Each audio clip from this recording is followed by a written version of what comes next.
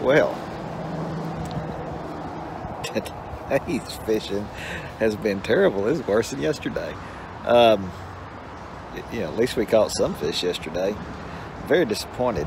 Uh, when I was a kid, uh, probably one of the most, uh, you know, one of the best memories I have is when I was a little kid and my dad would come and wake me up. And a lot of times he wouldn't tell me that we were going to go fishing. And it, of course, it'd be real early, real early in the morning. And uh, he'd come in there and he'd shake me and go, hey, you want to go fishing? And uh, that was just so exciting. Now, you may not be able to see him, but my dad has walked all the way down there where that white van is to get down here on this beach part so that he can walk all the way down here to get this shell. And I don't even see the shell now. Think the shell is next to where that white cup is. Okay, he's getting closer. It's gonna be bad if he gets down here and finds out this was like a hermit crab or something and it crawled off. Actually, this is the most exciting thing that's happened since we've been down here other than catching pinfish. I know, but Find anything? I ain't got that in there yet. Found some? We got. Look at. Uh-huh. They don't have no hermit crabs in them, do they? I hope not. Now where was this in here? I don't know. I hope it didn't crawl off. Now it's right here where this It was right next to that. cub, wouldn't it? Yeah. Well, he could not find the shell. Apparently there was something in the shell and it crawled off. He walked all the way down here and the shell was gone, but he did find four other little shells. Um, he was convinced that that shell could not have a crab in it that was strong enough to carry it around. Um, but anyway, uh, it's funny, you know how most people, and my dad's got a, a boat. It's my old, one of my old bass boats. And uh, most people, when their parents get older, you know, they kind of get to the point where they have to take their car. Um, my dad don't even like to drive. He don't even hardly try to drive anymore. But uh, my dad's going to be the one where instead of taking his car, uh, we're going to have to take his boat because he does not want to give up that boat. And he can't hardly get in and out of the boat. Um, and, then, and then, look at this wall.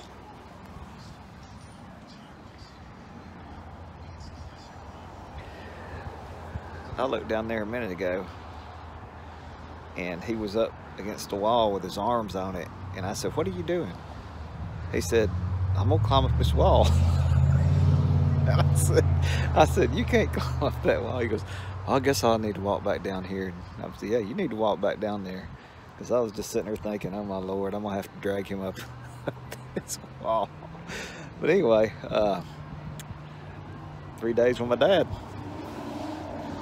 Yeah, he has also helped me make sure that I'm keeping everything locked. I mean, if I walk five feet away from my truck, it better be locked.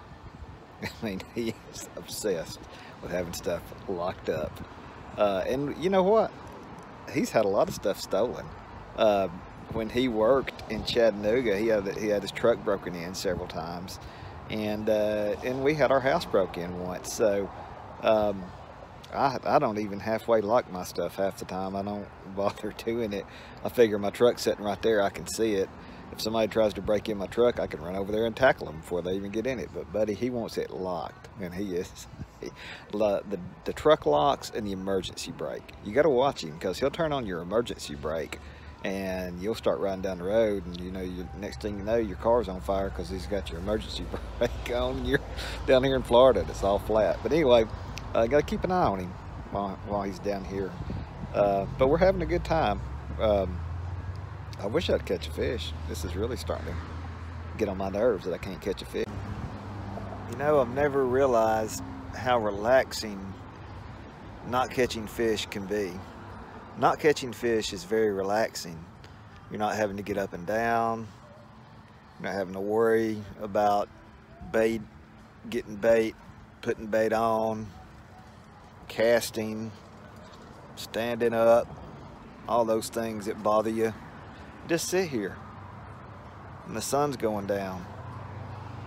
It's nice and cool in the parking lot of this restaurant. And there's palm trees around and they're playing music.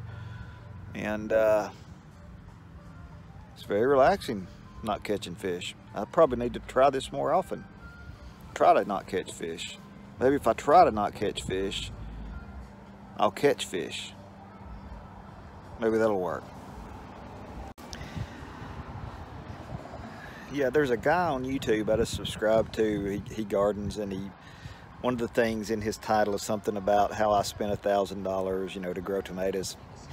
well, buddy, I can promise you, I have spent way more money trying to catch fish than you can imagine trying to grow tomatoes.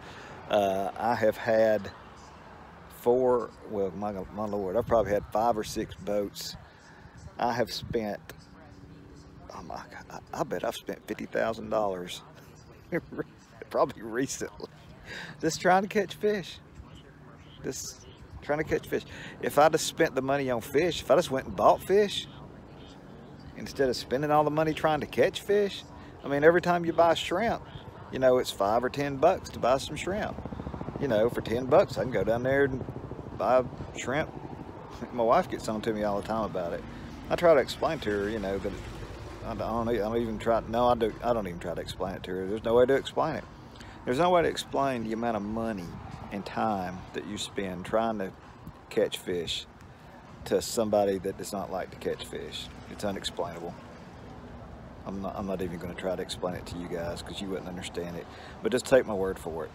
$1,000 is chump change for growing tomatoes when it compares to the amount of money. Ask any fisherman.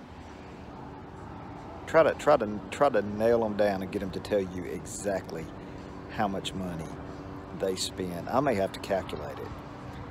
I'm afraid to calculate it. But I, I can promise you, it's way more than the fish are worth. Now, the fishing's fun.